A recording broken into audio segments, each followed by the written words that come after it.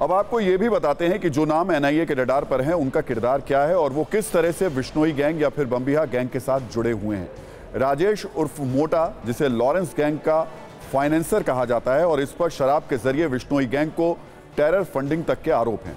काला राणा, ये Lawrence syndicate का एक बड़ा खिलाड़ी रहा है। इसे पिछले साल थाईलैंड से गिरफ़्तार किया गया था और ये अभी तिहाड़ में बंद है। काला जठेड़ी, जो लॉरेंस विश्नोई का करीबी है, ये अपने को, खुद को भी पूरी गैंग का ये ऑपरेट भी करता है।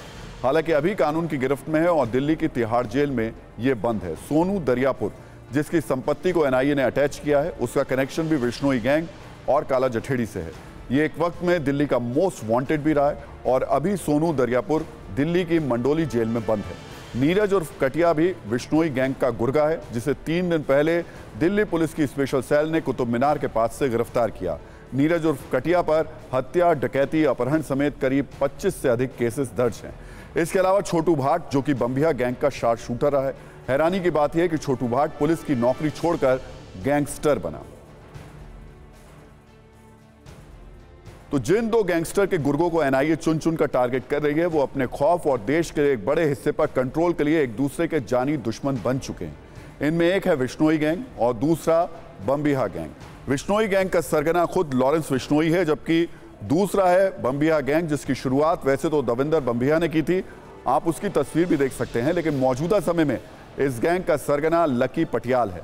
लॉरेंस विष्णोई अपनी जराइम की दुनिया का नेटवर्क देश की सबसे सुरक्षित जेल तिहाड़ से बैठकर चलाता है, जबकि लकी पटियाल आर्मीनिया से बम्बिया गैंग को ऑपरेट करता है। लॉरेंस गैंग के देश के कोने कोने में 600 से ज़्यादा शार्प शूटर हैं जबकि बम्बिया गैंग में अभी 300 से ज़्यादा शार्प शूटर है।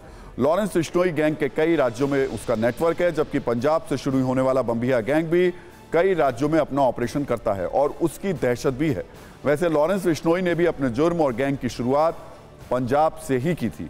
आज लॉरेंस बिश्नोई जिस तरह से तिहाड़ से बैठकर मर्डर, फिरौती और कई जघन्य अपराधों को अंजाम देता है, उसके ज़रिए वो एक बड़ा डॉन बनने का सपना भी देख रहा है। जबकि बम्बिया गैंग लगातार उसकी दहशत को चुनौती दे रहा है। वर्चस्व की यही जंग बार बार खूनी लड़ाई में तब्दील हो रही है। और इसी गैंगवॉर के रक्त चरित्र का एक सबूत पंजाब की जेल में देखने को मिला, जब एनआईए देश के अलग अलग राज्यों में इन गैंगस्टर्स पर शिकंजा कस रही थी। तब ये गैंगस्टर एक दूसरे का मर्डर कर रहे थे। सत्ता की जंग में एक दूसरे को चुनौती दे रहे थे। इसी जंग का खूनी चैप्टर पंजाब के मोइंदवाल जेल में लिखा गया। जब लॉरेंस बिश्नोई गैंग के लोगों ने जेल के अंदर जग्गू भगवानपुरिया के गुर्गे मनदीप तूफ़ान और मनमोहन सिंह मोहाना का कत्ल कर दिया और फिर इसका जश्न मनाते नज़र आए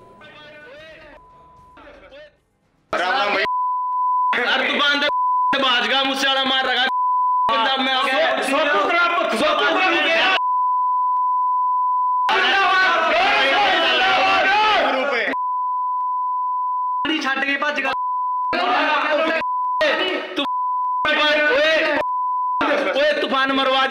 மணின